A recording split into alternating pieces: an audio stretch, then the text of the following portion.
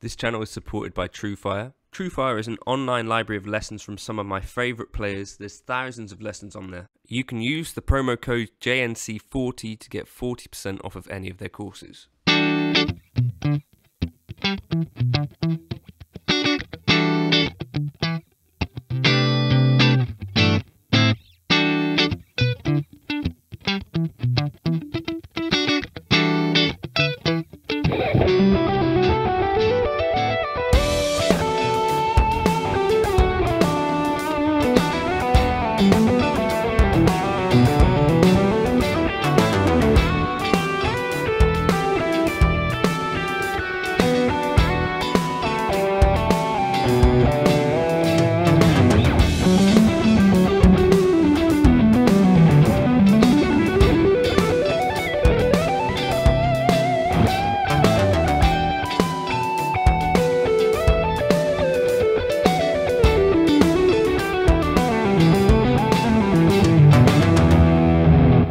Good buddy David Beebe used to gig a Boss Katana, and he talked on the Guitar Hour podcast about it in in terms of it being a really good experience. And at the time, I kind of thought, Beebs, you're barking up the wrong bush, and I thought it was maybe, I don't know, hadn't tried too many things, um, but I tried it earlier in the week or last week at a gig, had a really great experience, and Beebs said to me, you know, if Boss had their marketing together, it'd be the best selling amp by a long way. I think it might actually be the best selling amp anyway.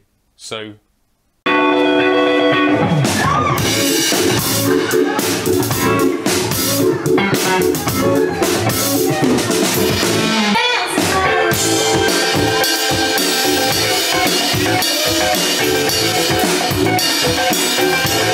TrueFire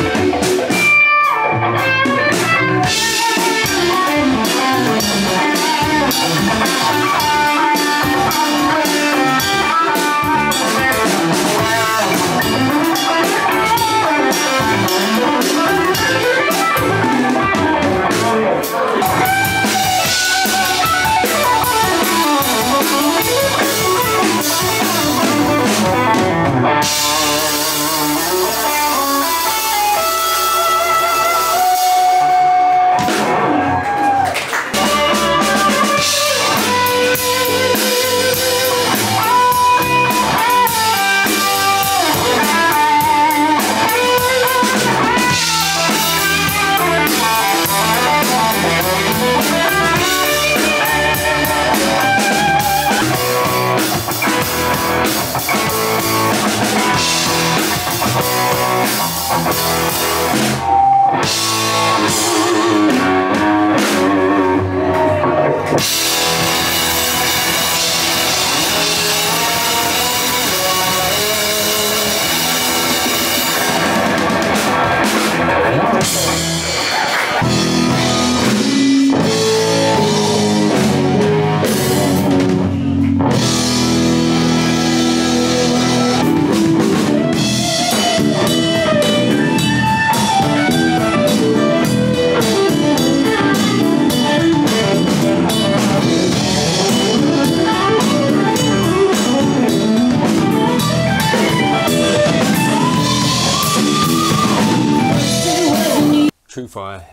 to make this channel a reality.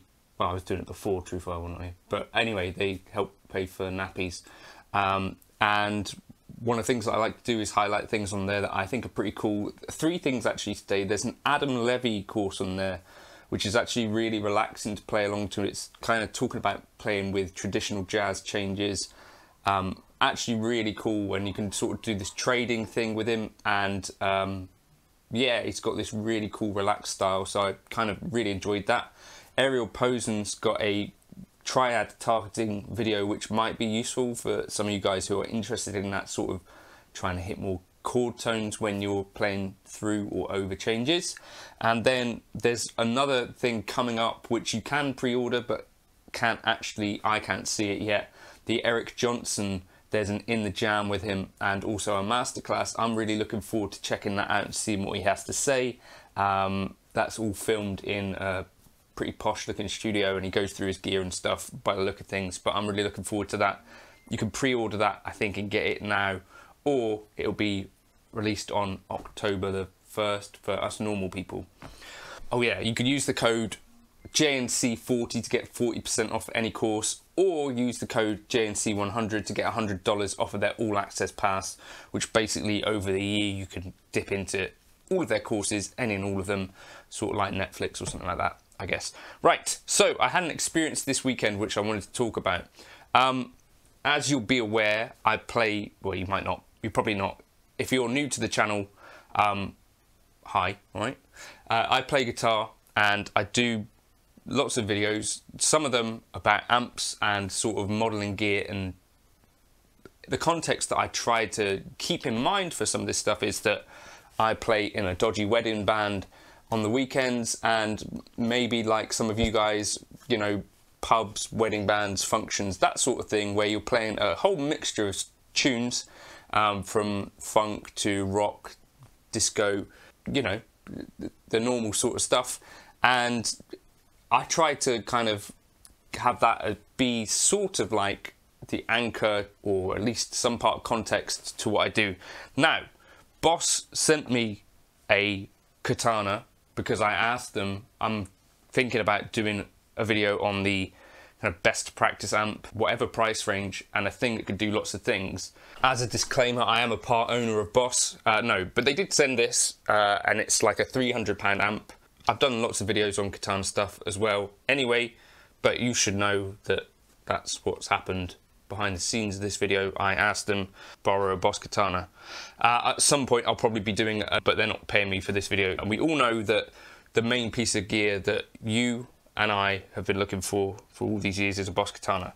Right, so why do I feel stupid? Because I turned up with this, so I ran it in 50 watt mode, basically like this, bass, mids, treble like that, on the clean channel, uh, a smidge of reverb into a Matrix Neolite cab, and I was as happy with that as I've been with any other rig that I've played over the last 12 months or so, and I've been chopping and changing things around a bit, and not necessarily what I was expecting, and I don't know probably there's going to be a bunch of you watching this who are gigging the katana. To be honest, it's definitely enough. So I was in 50 watt mode, keeping up with the drummer.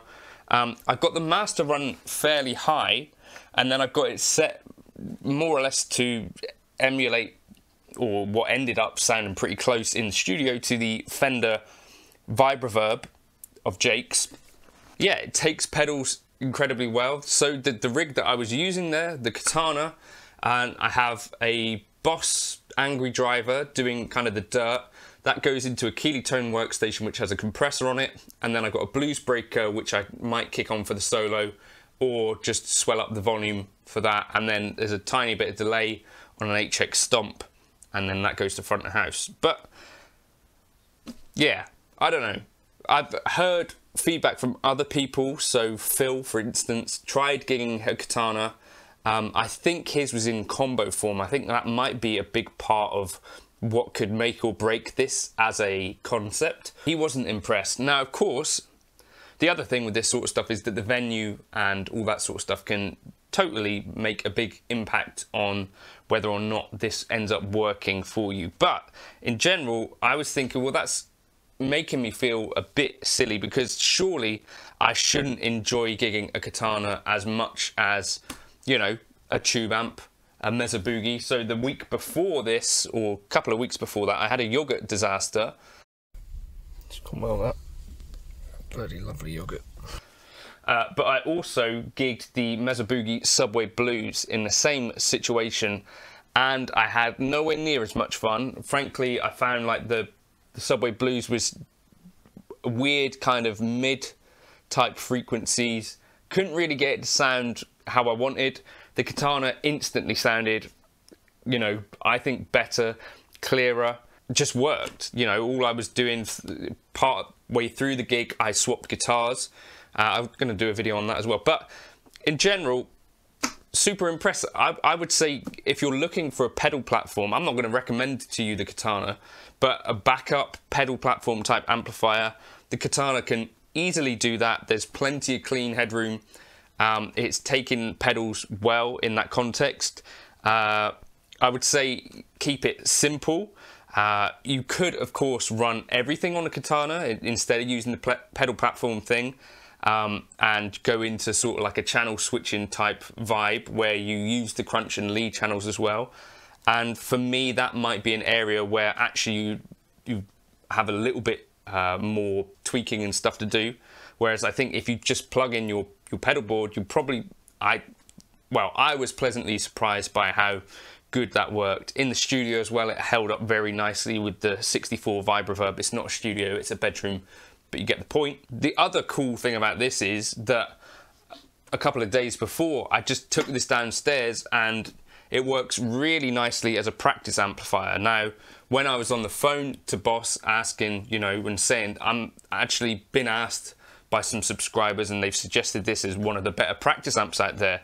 They were kind of not bigging up the internal speaker massively, but because I wasn't necessarily expecting too much from it from what they had said, very pleasantly surprised by just how useful this internal speaker could be. What it really means is that this is more than just a practice amp, more than just a gigging amp. The thing that annoys me in some ways about a lot of other practice type gear is that really it doesn't have too much use outside of the home. Whereas this has a power amp in, uh, so you could use this to power your modelers. This has, you know, could be used on a gig as a pedal platform. This could be a perfectly serviceable backup. They're inexpensive. This is cost about, or would cost if I had paid for it, which I didn't, as I've said, um, would cost about the same as servicing a couple of tube amps. Um, I don't know, so here I'm just plugged into nothing else here. And yeah, you can totally practice with it. Um,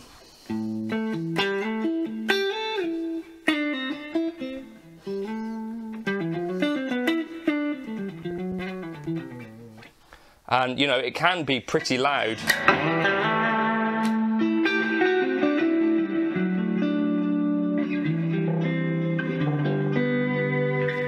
Get that kind of loud, it starts to fart out the speaker.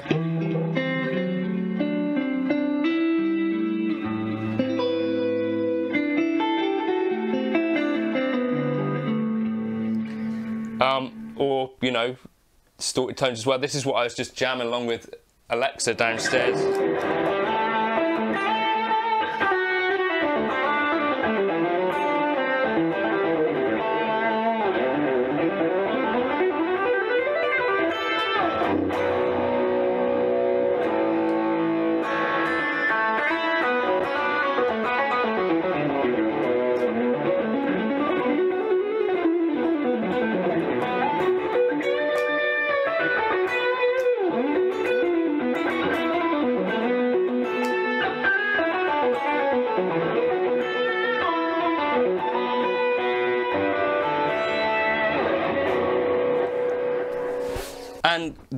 What I'm not thinking whenever I've been playing this is, right, I need to go and tweak that or I need to go and change this. It's been an experience quite similar to the Boss Waza Airs where you set up your sound.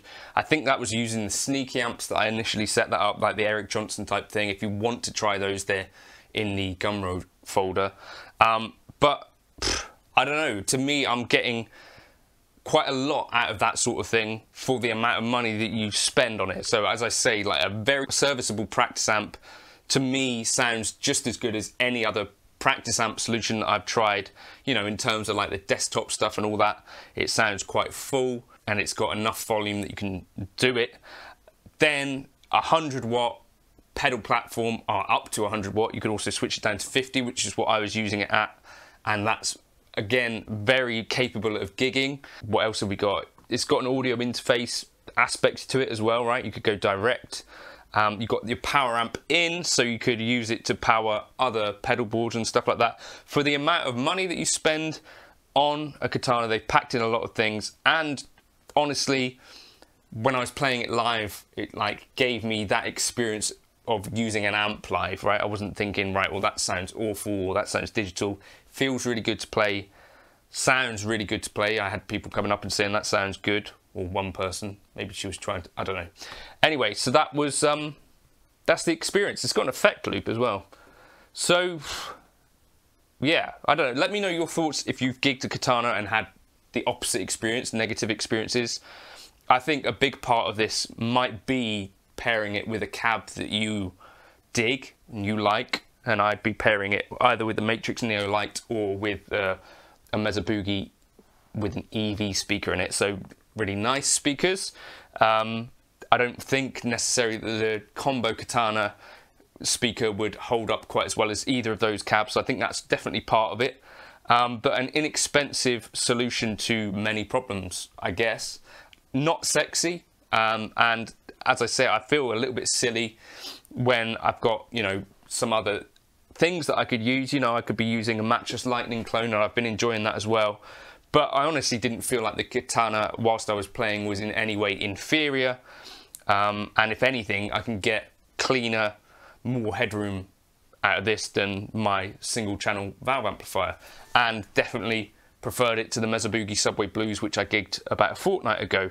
So yeah, I don't know. I feel silly, but that's that. Yeah, let me know if you've had negative experiences. If you've had reliability issues as well, I'd love to hear those in the comments. Or if it's been working perfectly well for you, let me know as well.